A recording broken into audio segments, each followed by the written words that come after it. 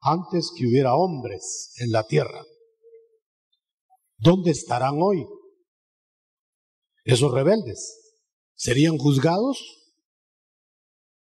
¿Los juzgaría alguien ahí arriba? ¿Y qué se hicieron? Porque usted sabe que hubo inclusive ángeles que fueron expulsados del cielo. Pero aquí en la tierra también hay rebeldes. ¿A dónde irán a ir? Si no se arrepienten. Vamos a, a ver cómo los cielos se abrieron para que la divinidad invisible bajara a la tierra visible para auxiliar a los rebeldes, a los pecadores humanos. Solo voy a leer de Juan 1, verso 14. Y aquel, aquel verbo, aquel que estaba con Dios y era Dios, eterno, se hizo hombre y habitó entre nosotros. El invisible de allá, para nosotros invisible, se hizo visible acá, para venir a auxiliar a los humanos.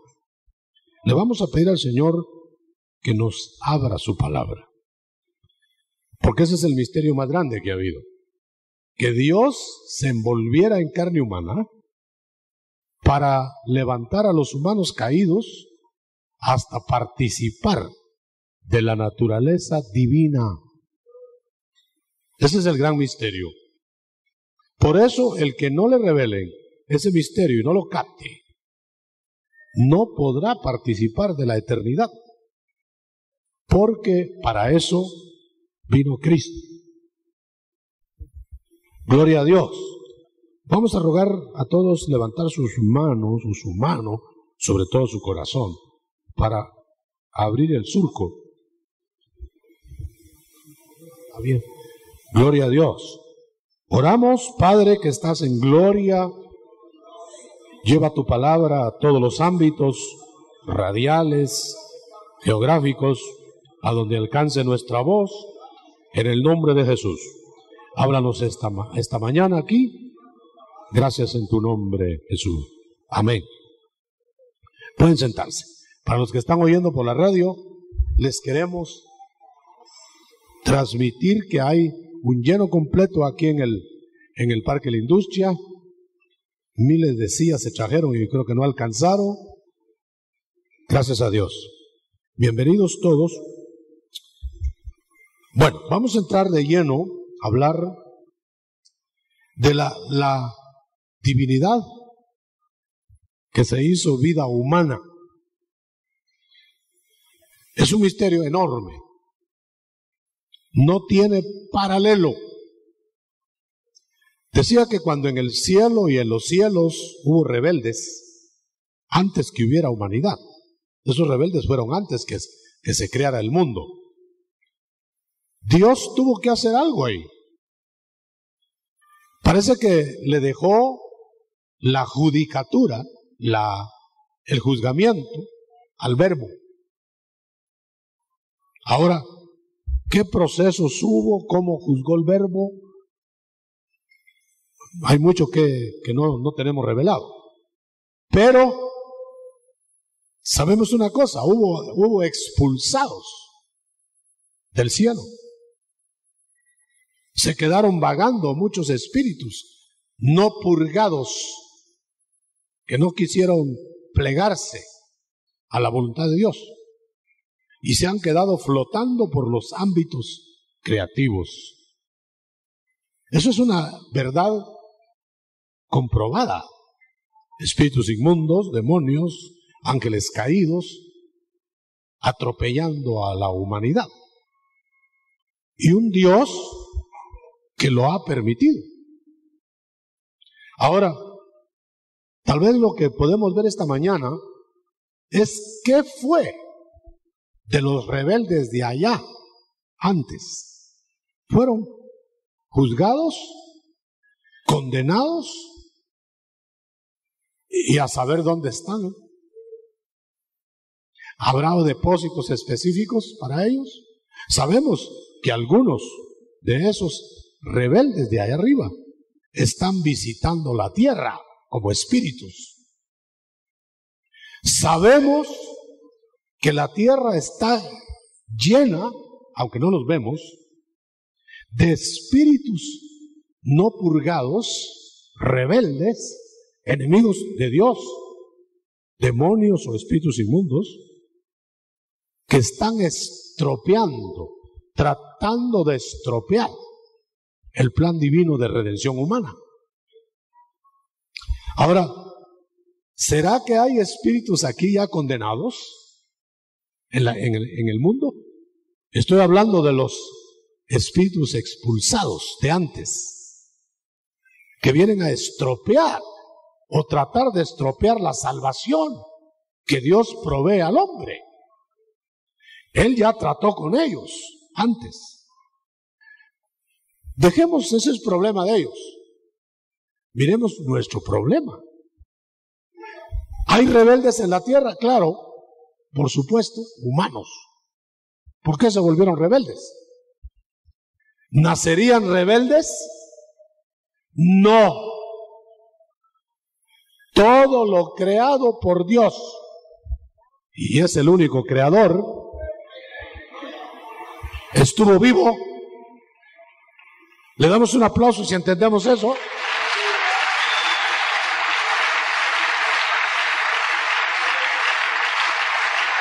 Otro, otro misterio.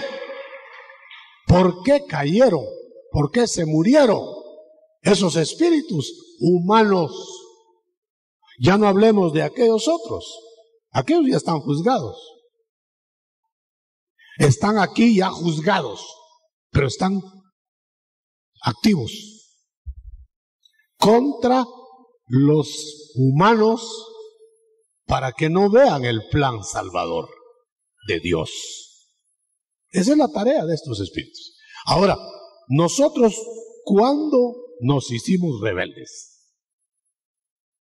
Yo creo que no podemos poner la fecha, porque unos se hicieron rebeldes en este tiempo, este es en otro tiempo, este es en otro tiempo. Pero cuando Cristo vino encarnado, o sea, el verbo bajó, aquel de allá, eterno, Dios mismo bajó y se envolvió en el velo del cuerpo humano para que aquí fuera descubierto por los que se habrían de salvar. Pero ¿cómo descubrirlo? A través de un cuerpo humano. ¿Cómo, cómo descubrir los humanos muertos espiritualmente. Que ese hombre, Jesús, era Dios. Dígame usted cómo. ¿En qué libro lo podría estudiar el hombre? ¿Cómo podría creer con los sentidos humanos que ese hombre, que aparentemente era débil, que era sencillísimo, en vez de venir en grandeza humana, venía en una borriquita. ¿Cómo? ¿Cómo puede la mente humana entender que ese es Dios?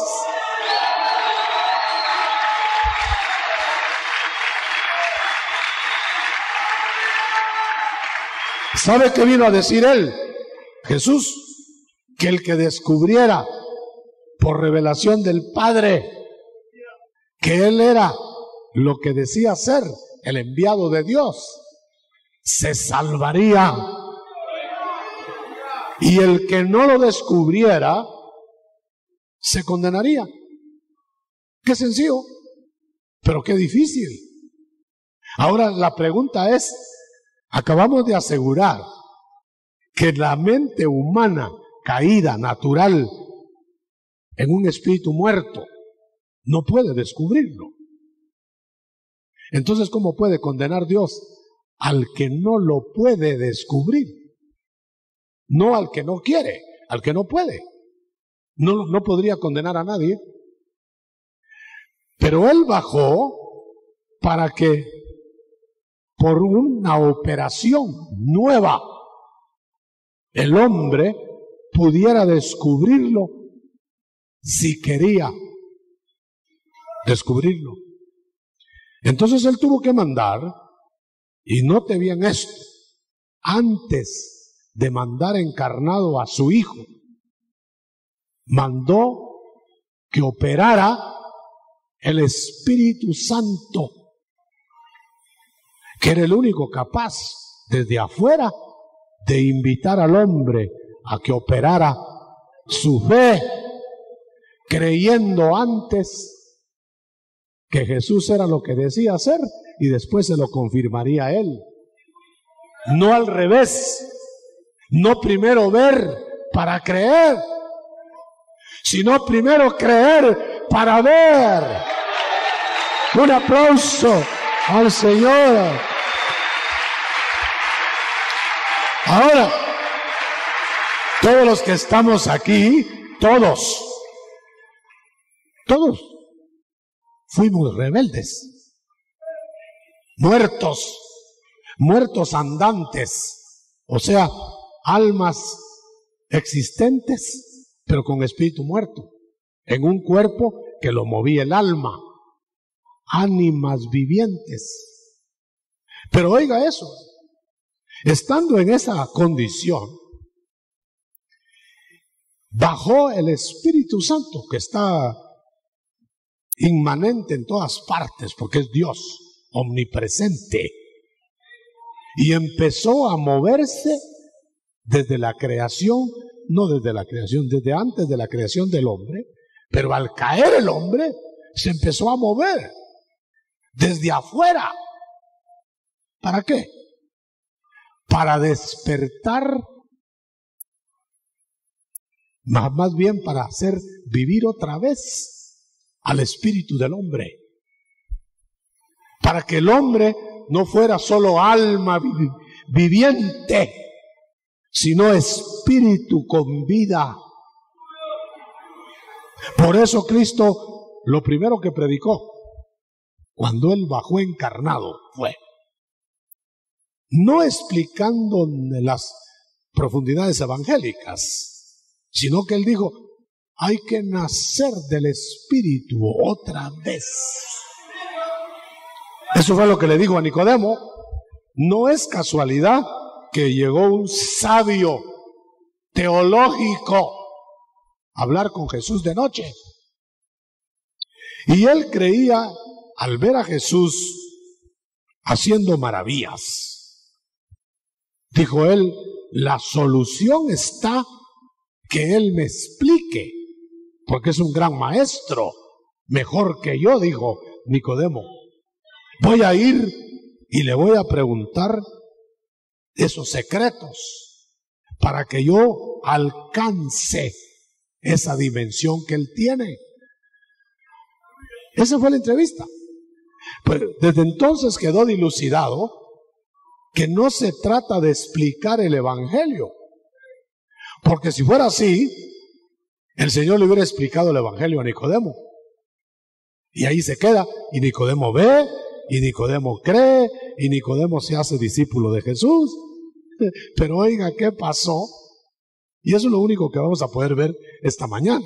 Menos mal que tenemos más días adelante. Nicodemo, ¿tú quieres saber, tú quieres saber quién soy?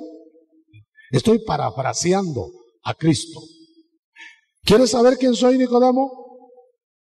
Sí, Señor, por eso he venido. Porque yo veo que tú eres de Dios, porque haces cosas que no puede hacer el hombre. Estaba impresionado, pero su mente no le alcanzaba. Estaba muerto espiritualmente. Ahora, él no lo sabía, él no lo sabía. Él hablaba de de ir a Dios en el judaísmo. Él hablaba de Jehová. Él hablaba del plan preanunciado por Dios miles de años antes de que naciera Nicodemo. Sin embargo, el Señor no se detuvo a explicarle, mira, esto es así, es asá. No, no, no, ¿para qué? Si estaba muerto espiritualmente. El Señor le fue al punto. Nicodemo, esto no es asunto de explicaciones. ¿Cómo no, Señor? Explícame. Vamos a ver. No, si tú no naces otra vez, no me vas a entender, ni vas a creer quién soy. Pero le dijo, yo soy maestro de teología, yo soy maestro en la palabra.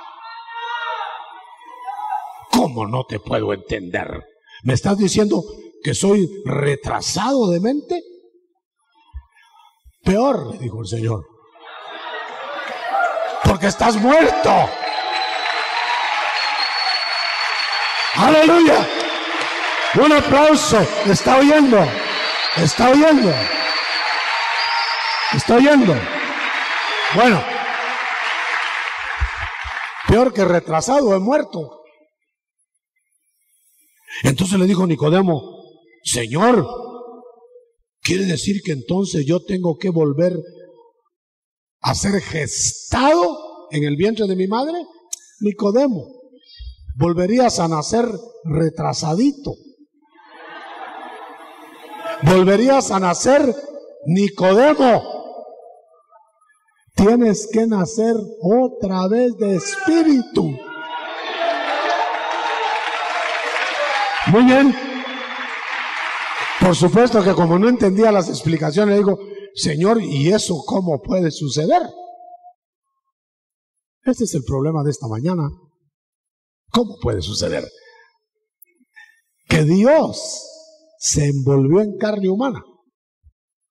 El Espíritu Eterno de Dios se vino a envolver en mortalidad para llevarnos a la inmortalidad a los mortales.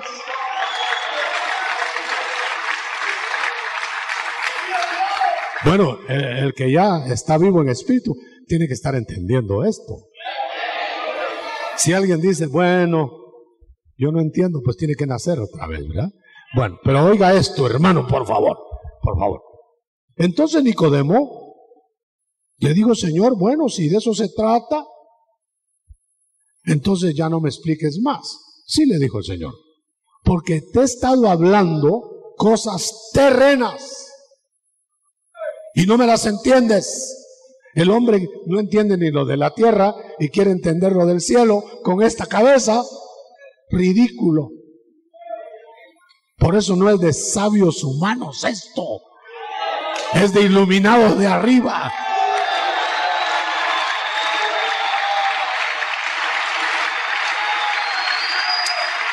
Nicodemo, ¿qué estás enseñando en la cátedra? El camino a Dios. Pero si no sabe ni cuál es. Lo aplazó en el examen teórico. Entonces le dijo Nicodemo, si no naces otra vez de arriba, de espíritu, no podrás ver, entender lo que yo te tendría que explicar. Ese es un paso. Por eso el Espíritu Santo vino a que nosotros pudiéramos ver, aun cuando el, el Espíritu no estuviera dentro. Porque en Nicodemo no entró el Espíritu Santo en ese momento. En Nicodemo le rebotaron las palabras de Cristo, no las entendió, porque estaba muerto en espíritu. Pero oiga, le dijo el Señor, va a venir el momento en que te van a abrir los ojos, el Espíritu te va a abrir los ojos, y me vas a ver en la cruz, levantado de, entre los hombres. Y entonces vas a creer, porque habrás nacido. Nicodemo menos entendió eso, no, no. Dijo, que lo van a levantar a él. No, no, no. Señor, ahí nos vemos, ya está amaneciendo, ahí nos vemos. Se fue a su cátedra. ¿Qué probó el Señor ahí? Que no es con explicaciones mentales que vamos a saber quién es Jesús, sino naciendo otra vez. Pero lo que me interesa ahora es el punto siguiente. Cuando ya el espíritu baja y no está en el hombre, sino que está aquí, en medio, en el mundo, porque el espíritu bajó hace dos mil años en persona, es decir, personalidad, para redarguir al mundo de pecado, no para salvarlo, porque el Salvador es Jesús, sino para preparar al hombre para que pueda ver la salvación y entrar en ella. ¿Me estoy explicando? Por eso el arrepentimiento no es salvación. Es el Espíritu trabajando desde afuera para que el hombre se vea cuál es y reaccione. Pero eso no lo salva. Juan predicó arrepentimiento para darle entrada a Jesús. Esa, esa otra es la salvación. Porque el Señor le dijo a Nicodemo, aunque Nicodemo no entendió, tal vez nosotros ya lo entendemos. El que no nazca otra vez de agua y del Espíritu no puede entrar Ahora no es solo ver, entrar. Quiere decir, hermano, que el que nos entra a la eternidad por el Espíritu es Jesús. Porque en la primera parte que le hablaron a Nicodemo, el Espíritu iba a hacer la invitación para ir a Jesús. Pero en la segunda parte, el Espíritu entrando con Jesús dentro de nosotros iba a producir el derecho a entrar en el reino eterno. La única forma. Yo puedo asegurar en esta mañana que nadie que no tenga el Espíritu Santo adentro se va a hacer eterno. Nadie. Por eso cuando nosotros creemos en Jesús, ¿quién entra? ¿Quién entra? Primero, ¿quién entra? El Espíritu de Jesús. Jesús entra primero, pero inmediatamente entra el otro, el Espíritu Santo. Si lo está entendiendo, de las palmas al Señor.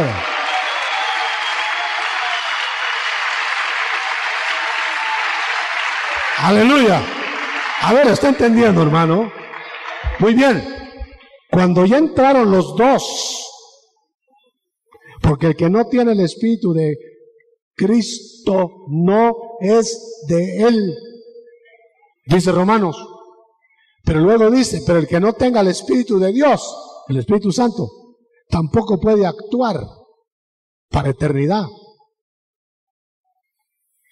O sea que la operación es gemelar. Por eso dice que cuando Cristo estaba, dice la Escritura, cuando Cristo estaba en la cruz, ahora están celebrando mucho eso. Bueno, Cristo en la cruz, ¿qué brotó de su costado? ¿Ah? Sangre, esa es salvación. Ese es el precio. Y después que brotó agua. Ese es el espíritu que da. El que no nazca de agua y del espíritu no entra. Por eso, hermano y amigo, en esta mañana los que han de morir y bajar a la tumba, que está establecido para todos los humanos, no solamente tienen que volver a la vida, sino tienen que ser transformados. Porque la transformación la produce la operación del Espíritu para complementar la salvación pagada por Cristo. Lo voy a decir en dos palabras. Fíjense bien en esto. Cristo, al morir, con su muerte, nos transmitió su espíritu, nos da vida. Vida. Pero el Espíritu Santo nos hace andar en la vida nueva, que se eternizará cuando glorifiquen el cuerpo. Entonces es una operación que sigue después de ser salvos. Por eso nadie puede decir que ya es eterno ahora, pero que va a ser eterno si permanece en Jesús. A ver, palmas para el Señor. Quiero ver si está llegando.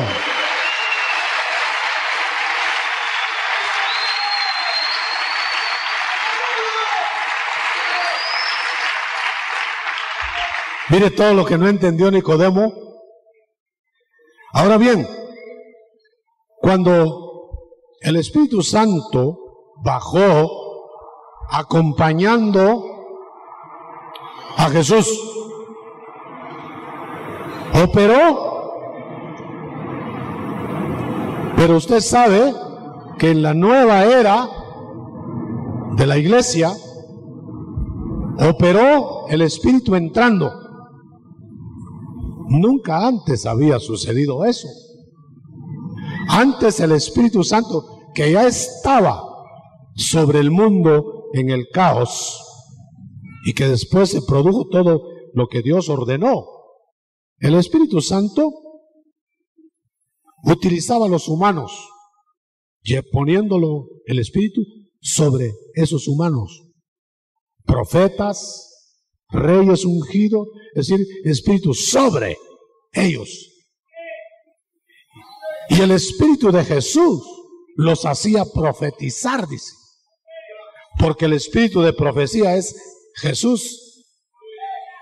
No tenemos tiempo de explicar eso, pero quiero que usted note el Espíritu de, Cristo que estaba en los profetas del Antiguo Testamento era el que hacía que profetizaran, dice. Pero nunca va a leer usted que el Espíritu Santo estuvo adentro de nadie, ni de David, ni de los profetas, el Espíritu de Jesús y el Espíritu Santo sobre para moverlos, para hacerlos hablar, para esto, para lo otro. Pero cuando el Espíritu Santo acompañó a Jesús, viniendo en Pentecostés, cuando Él dijo, es necesario que yo, Jesús, me vaya para que se quede operando el otro. Aleluya. Ahora,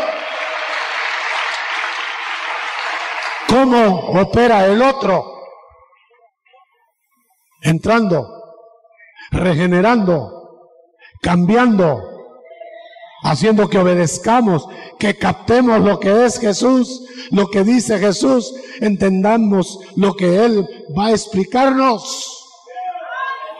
O jamás lo entenderíamos. La dicha ahora es los que tenemos al Espíritu Santo adentro, que lo podemos captar a Jesús. Le entendemos, le, entienden los más sencillos. Dice Jesús, yo soy Dios mismo. Yo estaba con el Padre, yo soy el mismo Padre, y yo vengo en carne. Y nosotros decimos, sí Señor, lo creemos. Te hago una pregunta. Te hago una pregunta. Porque tú ya dejaste de ser como Nicodemo. Ahora ya estás convertido. ¿Quién te lo reveló? ¿Alguna explicación? Son buenas las explicaciones. por el Espíritu, por siervos o siervas. Pero eso no es la revelación. Puedes tú leer toda la Biblia con espíritu muerto.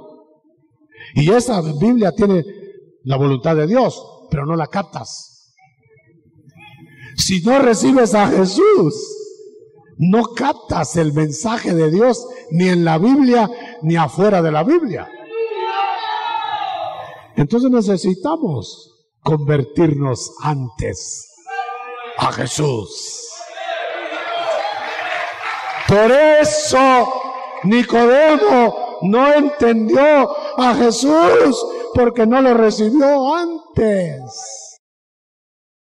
Yo me pongo a pensar, hermano, fíjese que yo, yo me imagino que Cristo había sido muy hermoso cuando estaba vivo. En carne, haber sido muy, muy impresionante. Y no lo captó Nicodemo. Y ahora lo capta cuando era un cadáver. Cuando no le contesta ninguna pregunta. Cuando no le hace ningún milagro. Y fíjese que Nicodemo se convirtió antes que Cristo resucitara. Ah, porque ya resucitando, pues como para que no, ¿verdad? Pero dijo, este Jesús es el que me dijo que había que creer primero. Creo, lo bajó. Estaba creyendo no en un muerto, sino en uno que aunque muerto se iba a levantar.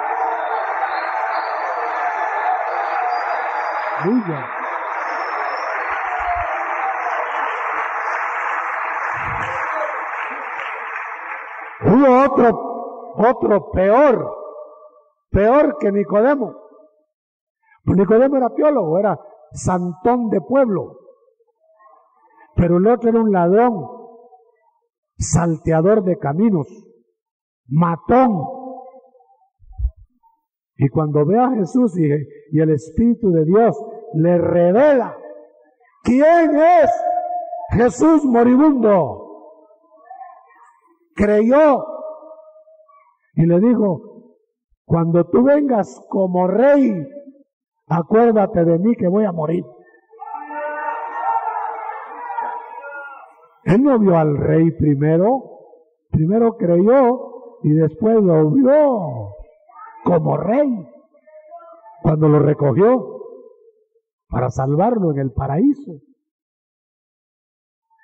¿Nota usted que primero hay que creer? ¿Por qué hay tanta gente ahora que quiere ver primero para creer? Ahora lo maravilloso es que Cristo no solamente espera que creamos. El ladrón creyó. Nicodemo creyó. El centurión, aquel que le pidió un milagro a Jesús, creyó antes del milagro en la palabra de Jesús. ¿Qué hizo Jesús después con ellos? Los confirmó con señales. Vamos a ver. Mire al centurión. El centurión llegó, Señor, mi hijo está grave. Sánalo. Si no, no hago señales, le dijo el Señor, usted no cree. Lo, recriminó. Ustedes quieren ver primero para creer. No, mejor cree primero. ¿Crees? Sí, Señor, creo tu palabra. Toma, llévatela. Tu hijo está sano.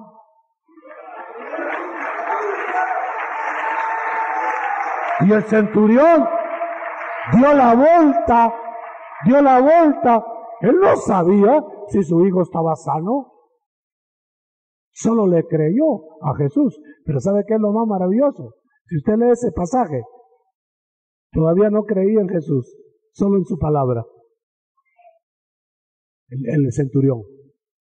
Y cuando llegó a su casa, le salieron a encontrar los de la familia y le dijeron, oye, oye, tu hijo sanó.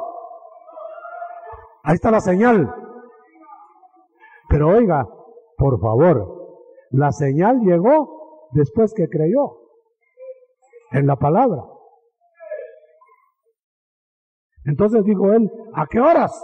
Se cercioró, hermano. ¿A qué horas no? A la una.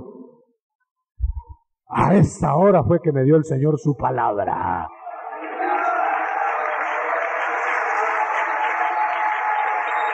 A esa hora el Señor dio su palabra y creí. La señal le confirmó después la palabra de Jesús. Miremos en Nicodemo. Nicodemo tuvo que creer en el Cristo muerto. Y después se lo confirmó él lo que era ya resucitado. Porque lo debe haber visto resucitado después. Veamos al ladrón. Primero creyó. No le dio tiempo ni de levantar la mano, ni de ser diácono, ni de, ser diaconisa, ni nada. Solo creyó amarrado en la cruz. Ahora oiga bien esto. Pero cuando él murió y llegó al lugar de las almas de los muertos, el Señor lo presentó como salvo. Porque le dijo y él creyó, hoy estarás conmigo en el paraíso.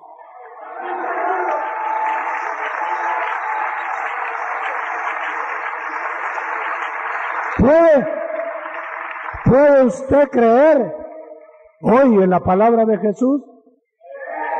de que aunque muera, estará con Él en el paraíso. Y de que va a resucitar y que va a ser rey del mundo y del universo. ¿Lo puede creer? A ver, gloria a Dios, den gloria a Dios.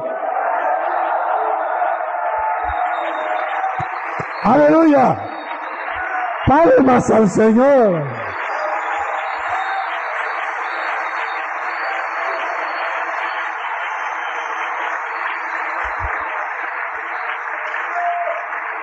¿Cuál es la dicha más grande del hombre perdido? La dicha más grande es que Dios, el Padre, haya dispuesto que su Hijo fuera el precio de nuestra salvación. Y no nosotros, porque nosotros no hubiéramos podido. Pero la dicha más grande está en esto, en que envolvió a su Hijo en carne humana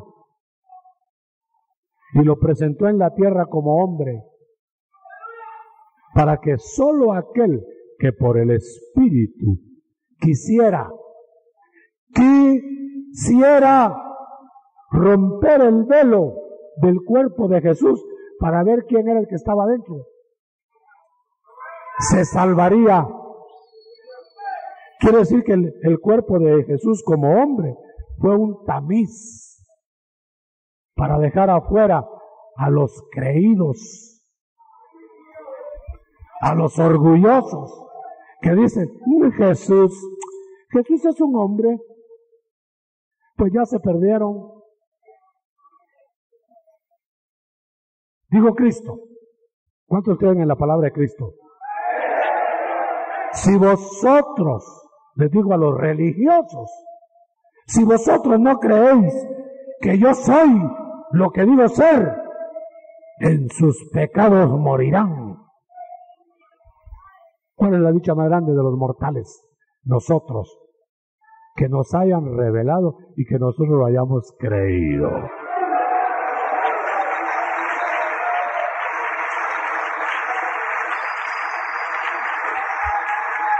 Podremos podremos dividir a la humanidad entera, entera, en los rebeldes, porque todos fuimos rebeldes, salvos, y los rebeldes perdidos. ¿En dónde está la diferencia? Si todos éramos perdidos. La diferencia está en que tuvimos la dicha de ver por la fe quién venía dentro del cuerpo de Jesús. Esa es revelación, hermano. Yo apelo esta mañana a tus ojos naturales, a tu mente natural, si todavía no eres salvo, a que pienses si deseas conocer quién es Jesús o quieres seguir en tu necedad. Ahora, a los que ya nos revelaron quién es Jesús, conozcámoslo cada día más.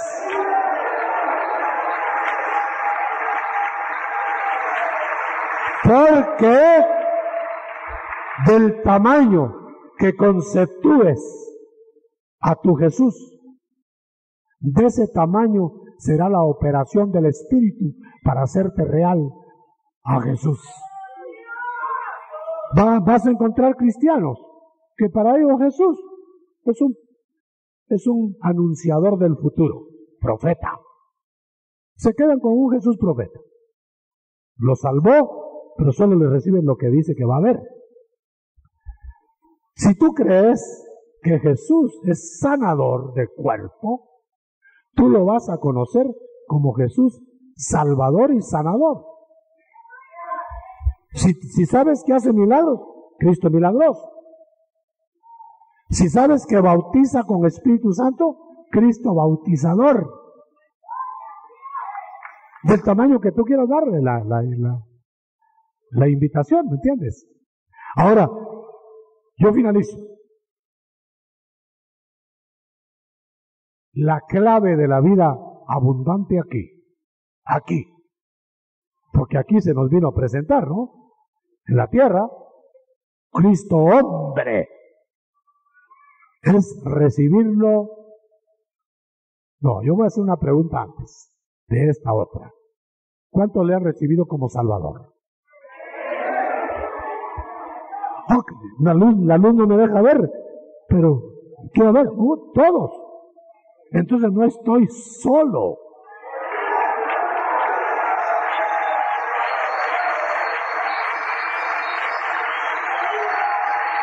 A ver, a ver, levanten las dos manos. Quiero verlo. Este es un mar, hermano. Un mar. Salvador. Salvador bautizador, sanador, ¿Qué hace señales. Entonces, ¿para qué predico?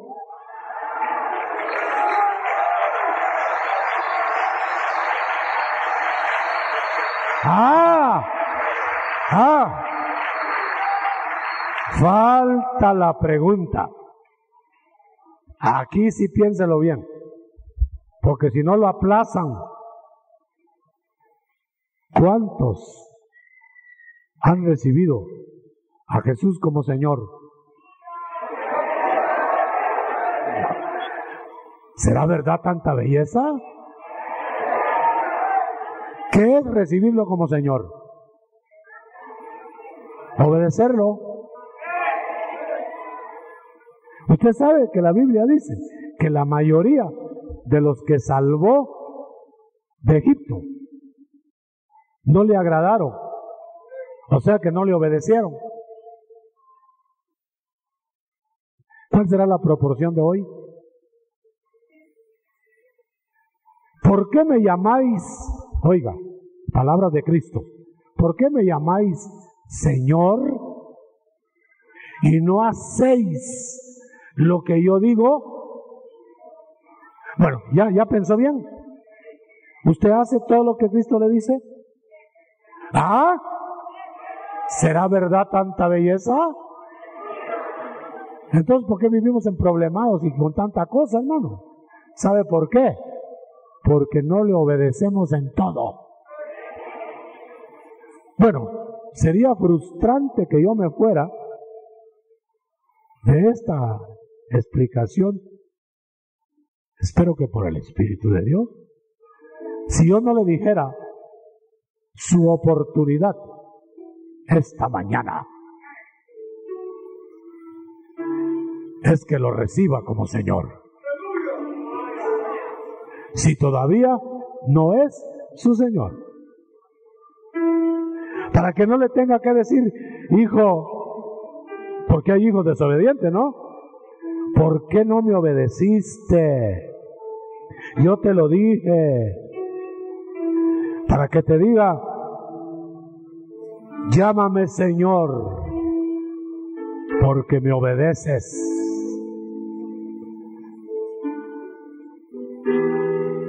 del tamaño que sea tu concepto espiritual de tu Señor. De ese tamaño será la forma como le sirvas.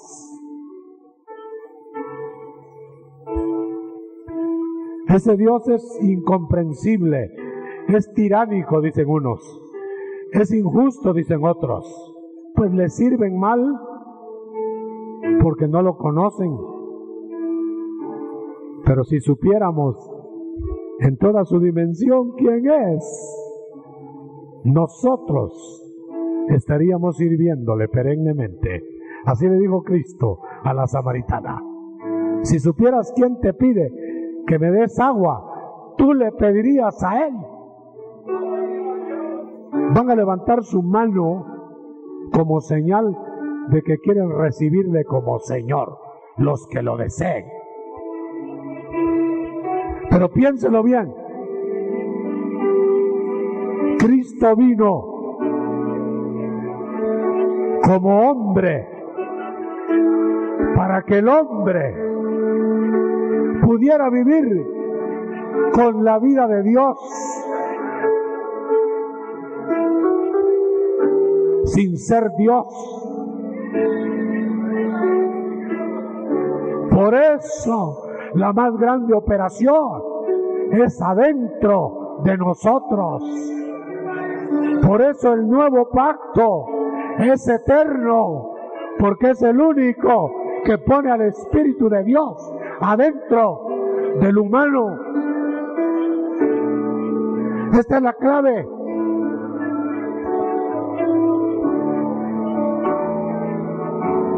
Vamos a ministrar al Señor. abra su alma. El alma es la que se resiste a reconocer el señorío de Cristo. El espíritu se unió a Cristo y es de Él. El cuerpo se unirá al Padre cuando sea transformado. Pero es el alma la que está siendo reciclada por el espíritu para que acepte el señorío de Cristo y lleve una vida abundante. Así con su mano en alto.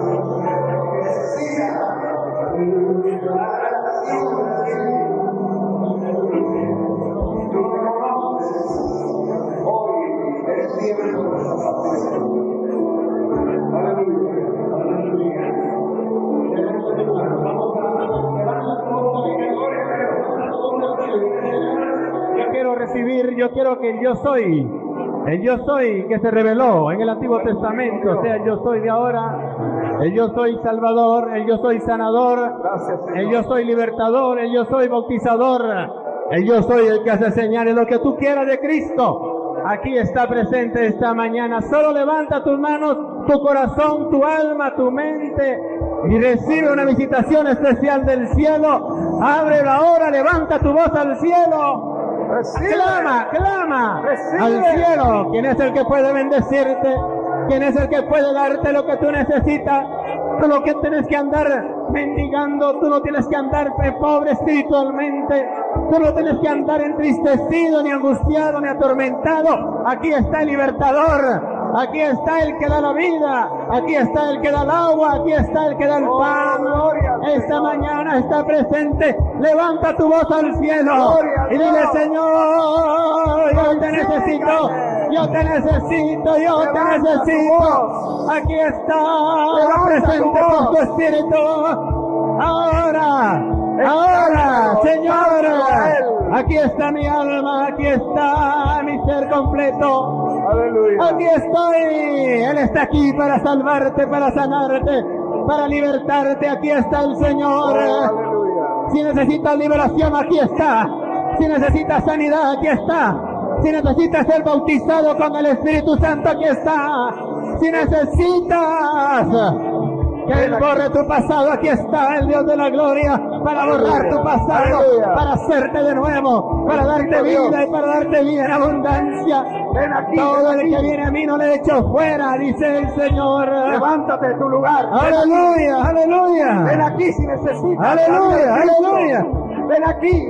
Hay vida eterna, hay salvación.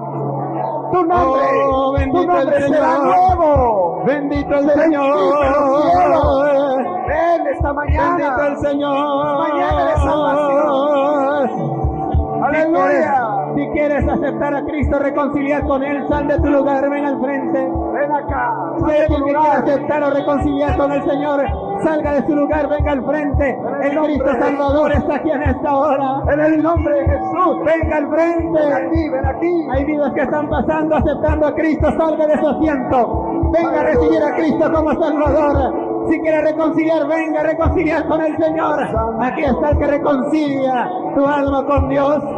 Dios bendiga esas vidas que vienen del fondo pasando, aceptando a Cristo. Ven esta Acá hay mañana. lugar. Cristo salva, Cristo sana, Cristo liberta. Oh, bendito sea el Señor. Amén. Bendito sea el Señor, mira las vidas que están pasando, Dios te está salvando. En tiempo de refrigerio. Aleluya. Los hermanos diáconos atienden a los que pasan y todo el pueblo se pone de pie y vamos a levantar un clamor al cielo. Vamos a levantar un clamor al cielo. Vamos a levantar un clamor al cielo. Vamos a decirle, Señor, yo te creo.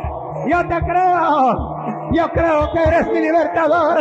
Yo creo que eres mi sanador. Yo quiero, creo que eres mi pronto auxilio. Yo creo que eres mi bautizador. Clama esta mañana. Clama. Hoy es mañana Aleluya. Hoy es mañana. Aleluya. Aleluya. Aleluya. Él está aquí. Es el mismo Jesús. Eres el mismo que ayer, hoy y por todos los siglos. El que se revela. Oh, darte una nueva vida. El toque del Espíritu. Tú ya no el el toque del. Espíritu. Aleluya. Oh, Oh, bendito el Señor. Aquí hay lugar. Bendito el Ven Señor. aquí. Ven aquí al Señor. Él te está llamando esta mañana. Te está invitando Aleluya. a venir a su mesa hoy. Bendito sea el Señor. Oh, bendito Aleluya. Señor. Démosle unas palmas al Señor en esta mañana. Aleluya. Digámosle gracias. Gloria a su nombre. Gracias por este retiro.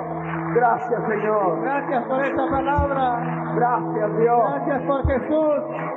Gracias por el Espíritu Santo. Gracias. Gracias, Señor. Aleluya. Qué bueno. Aleluya. Aleluya. Cantamos al Señor.